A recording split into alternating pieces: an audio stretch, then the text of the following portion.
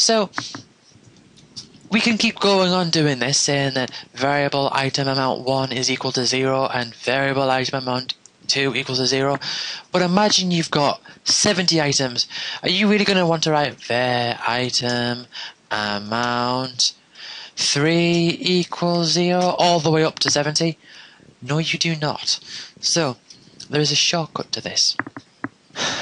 And that shortcut is what we call for loops. Now, a for loop is basically something that will keep happening over and over and over again until you tell it to stop. So, say, okay, in this example, we have three items. We have potion, ether, and antidote. And we want to make the variables that we've just deleted there, the, uh, and one thing I should probably make sure of is that I've got the right uppercase letter there. Uh, one thing I should probably try to make clear of is that this is a very simple example, so it doesn't make too much difference here. But if you've got 70 items, for example, that can take ages. So we want to make a for loop. And the way that we do this is we have we have for, and then we have open a regular bracket.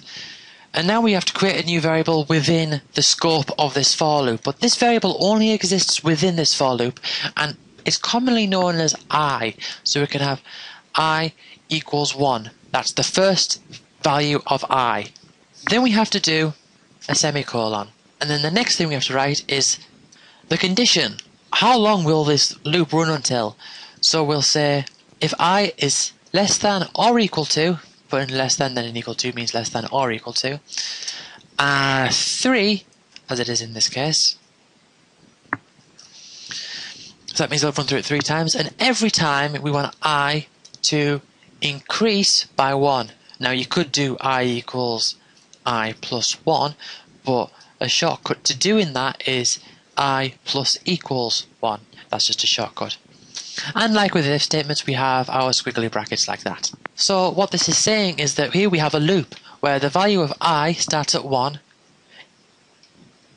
It adds 1 to the i variable every time, and it keeps working until the i variable is is no longer equal or less than or equal to 3.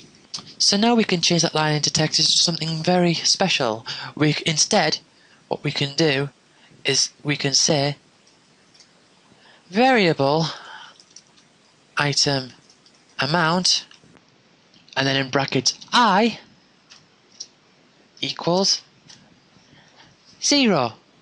So now what that will do is it will take the i, this i here is referencing the i variable that's looping through here. So it will go, okay, i equals 1, right? Variable item amount for, for, num, for the first one in the list is equal to 0. And then, then add 1 to i, and then it's still less than or equal to 3. And then we'll have variable item amount, uh, i is now 2, so make the second one also equal to 0. Now we can have, now because we've done that, add 1 to the i, it's still less than or equal to 3. The variable item amount 3 equals 0, and it and then it goes to the fourth one, oh, it's not in the scope of being less than 3 anymore, so then they end the loop. So say if we have 70 items, you can do that with up to 70, and then you've got 70 variables declared in just those two lines of text. Or code, should I say. Just those two lines of code, you have 70 variables declared. Which is, quite frankly, amazing if I do say so myself. And you could even put that into one line, I suppose, because it's got these squiggly brackets. Now there's many other things you can do with for loops. It doesn't have just to be to have to be with declaring arrays. You can have conditions in in there, for example. This is in the create um, command. So in the in the event of the item being created, so let's copy this and let's say you don't want any items go into our step command here let's say you don't want any items, uh, any amount of items to go over 99. You want an item limit of 99. So you can have 99 potions, but you can't have over 99 potions, Or 99 ethers and you can't have over any, any more than 99. So you want to put a limit on them.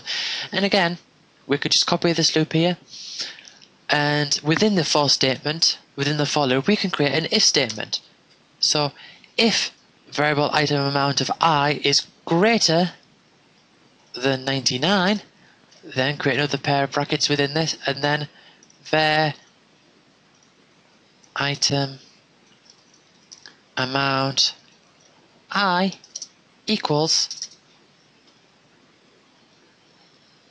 99 if I'll type it properly. So I hope this is making sense. So now this is within the for loop saying that, okay, going through every value of i from 1 to 3, if the, if the amount of the first item is greater than 99, then make the item great, equal 99. And then it goes to number 2. If variable item amount, the second, 2, the second item amount is greater than 99, then make it equal to 99. And again, imagine if you have 70 items, it will go through this 70 times, all in just a few lines of code. So, and you might also want to make it so that you can't have negative amounts of of items. So you'll want to say if the amount is also less than zero, then make it equal zero and I imagine you, well, you should have other code later on as well, also to make sure that you can't use an item if you don't have any. But for now, this is basically just saying no matter what, the amount that you have can't extend these boundaries of any item because it's gone through the different arrays. Very, very handy, very neat trick. I hope it's all making sense. I hope you're catching on and Feel free to ask questions if you don't understand.